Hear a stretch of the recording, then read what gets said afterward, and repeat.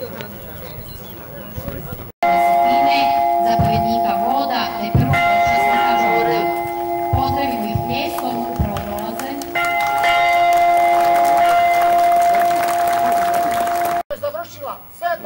za.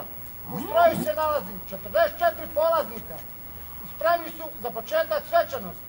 Prijavak podnio zapovjednik središta, pukovnik Ivan Vukjović.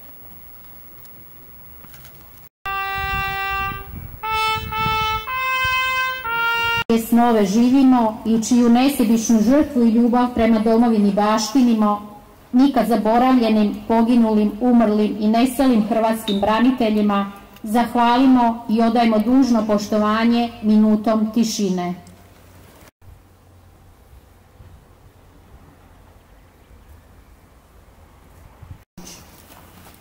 Skupina stoj! Na desno!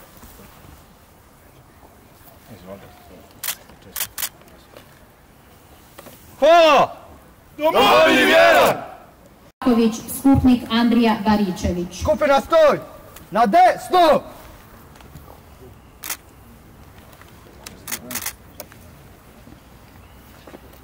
Hvala! Domovini vjeran!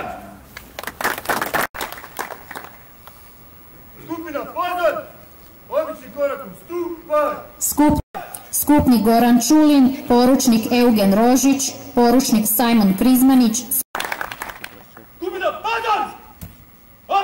Raditi i rado imati svojih postrojba predstavlja veliki izazov i odricanje. Kojim ovo središte nosi ime, bude uzor iznosti u vođenju i zapovjedanju.